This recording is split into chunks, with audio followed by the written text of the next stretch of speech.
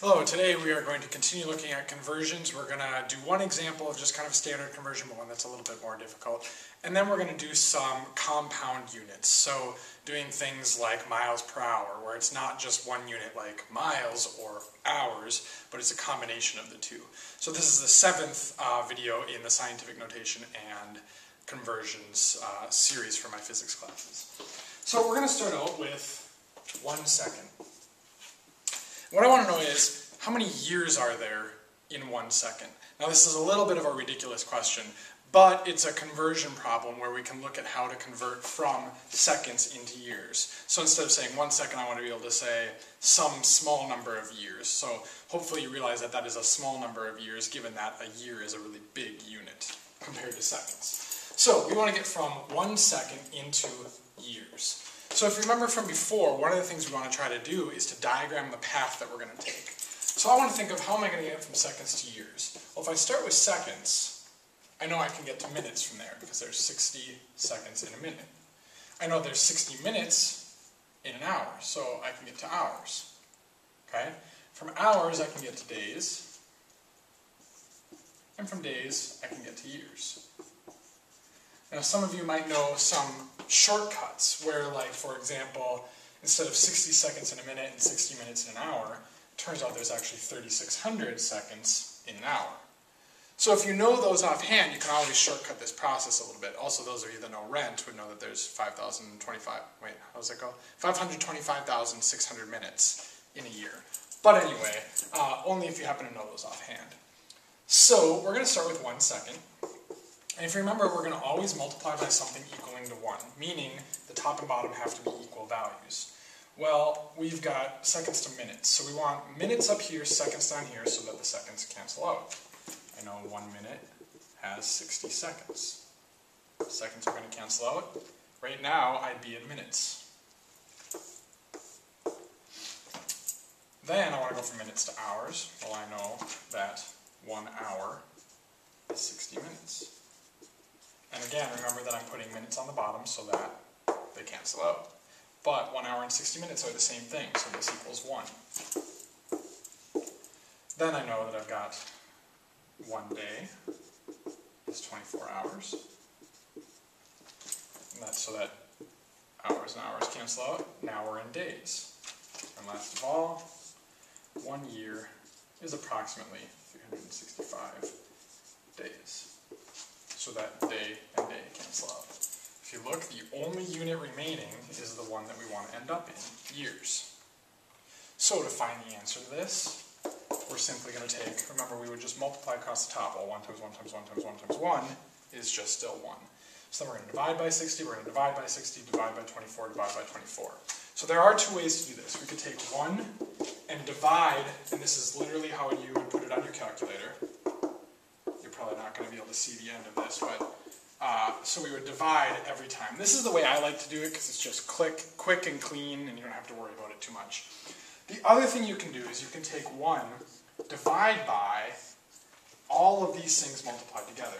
60 times 60 times 24 times 365. But note the important thing here. You've got to have these parentheses if you do it that way. Otherwise, you'll take 1 divided by 60 and then that answer will get times by 60 times by 24 times by 365. We want to do this first, then we want to divide 1 by all of that. Whichever way you do it, I'll grab my calculator here and I get 3.17 times 10, and I'm rounding, uh, times 10 to the negative 8th. Okay? Well, that's in scientific notation. I am perfectly fine, by the way, we are in years right now. I'm perfectly fine leaving in scientific notation. The whole reason we have scientific notation is to be able to write really, really small numbers without having to write a whole bunch of zeros. This would be a very, very long thing to write. Uh, that's about it. Somewhere in there. Okay? One, two, three, four, five, six, seven, eight. Yeah. There we are. So that's what it would have ended up being. But instead of doing that, uh, we can just leave it in scientific notation. So note that it's a really small number, which makes sense because we would expect a very small number of years from this. Okay? So that was that first example. I'll let you take a quick look at what we did, and then I'll erase. Next example, we're going to start looking at these compound units. So we're going to take 55 miles an hour.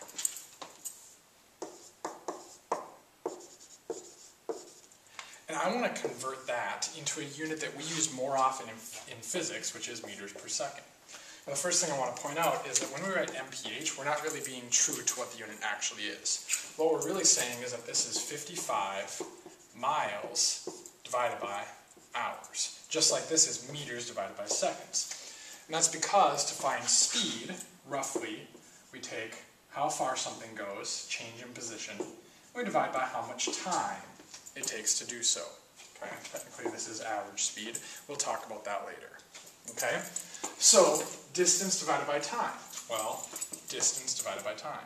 Distance divided by time. Okay, so we have 55 miles per hour. We want to convert that into meters per second. So we have to think about how we're going to get there. Basically, here's the deal. We're going to take miles and we're going to convert that into meters. Then we're going to take hours and we're going to convert that into seconds. And we're going to do those each separately but all at once here. So let's start with miles. Our first conversion factor, we need to get from, and actually let's talk about how we're going to do this. How are we going to get from miles to meters? Well, we talked before about how there are 5,280 feet. By the way, there are other ways to go about this. I'm just going the one that most of my students tend to think of, which is 5,280 feet in one mile. We don't actually have to write that. Then I know I can get from feet to inches, I know I can get from inches to centimeters because there's 2.54 centimeters in one inch. And last of all, I can get from centimeters to meters. So that's the path I'm going to take for the distance unit. For the time unit, hours, I think it's more or less clear how we're going to get from hours to seconds, so we're just kind of going to do that as we go, considering I'm pretty sure I'm running out of time on the video here. So, Converting miles, we're going to go miles to feet, so that means we have 5,280 feet in one mile. Note that miles cancel out to miles, and we can keep going. Note that if I stop right now, I'd be in feet per hour. I'd be going this times this, that many feet every hour. Okay? Now I'm going to go from feet to inches. Well, I have 12 inches in one foot.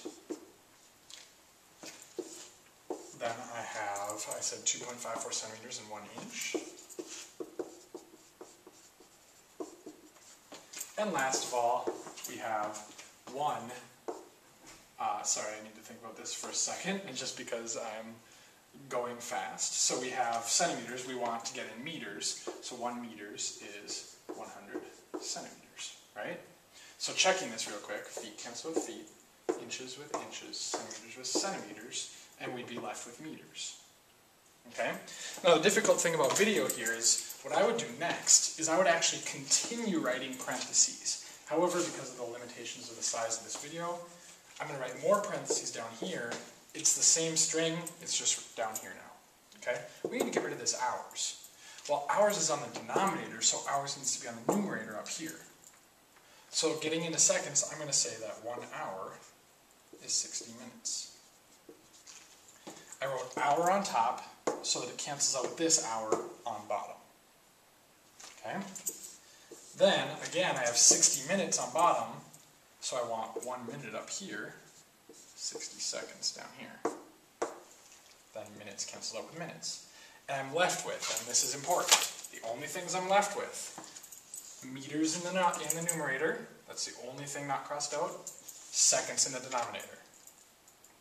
So then to find my answer, I know that it's somewhere in the neighborhood of 30 meters per second, just based on, uh, it's about a factor of 2 difference between miles per hour and meters per second, approximately.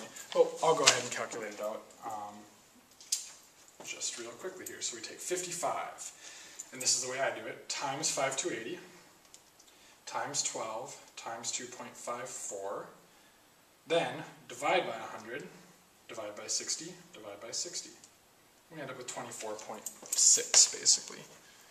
So that was a little off. I couldn't remember which way it rounds from. So 24.6 meters per second. Okay?